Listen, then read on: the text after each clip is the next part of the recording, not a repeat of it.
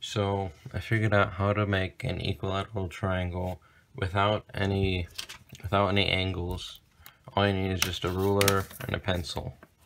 So first I'm gonna show you how to do one where it's two inches on each side. And first you're gonna make make a side. And then in the middle at the one inch mark and make a notch, a notch there. So when you go here, line it up with that middle mark, and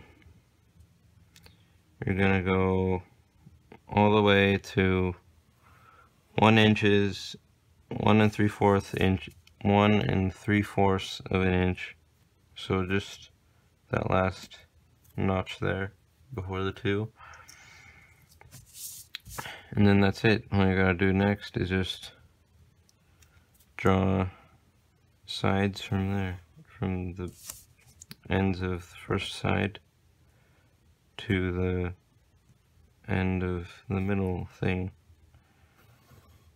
And that is an equilateral triangle without using any angles. And then to make a one inch one inch by one inch by one inch. One you gotta make one inch side in the middle. And then three fourths go out three fourths of an inch. So just two little notches are I don't have a line below them. And and yeah I think that's it right? Figure this out by myself just I was trying to like make a uh, icosahedron if you know what those are.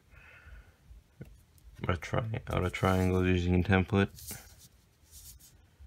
And check all the sides one inch one inch and one inch. So that's an equilateral triangle. So one two inches two inches, two inches. Boom. And you could probably do this at a larger or smaller scales. Maybe could, yeah. So, see ya. Thanks for watching.